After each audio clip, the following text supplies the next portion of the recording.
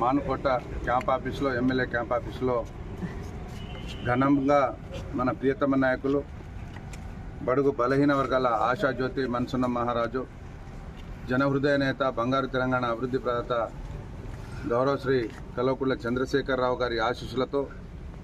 ఇట్టి ఇచ్చిన మాట ప్రకారం మా వికలాంగుల సోదరులకు ఇవాళ మూడు వేల పదహారు నుంచి నాలుగు వేల పదహారు చేసినందుకు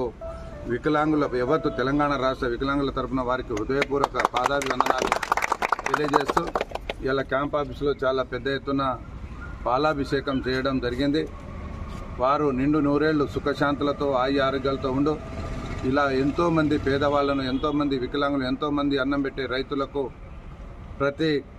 కర్షకునికి కార్మికునికి ఎస్సీ ఎస్టీ బీసీ మైనార్టీ సబండ జాతుల వారికి ఆర్థికంగా రాజకీయంగా అన్ని విధాలు ఆదుకోవాలి వాళ్ళు చల్లగా ఉండాలని చెప్పి ఆ భగవంతుని కోరుకుంటూ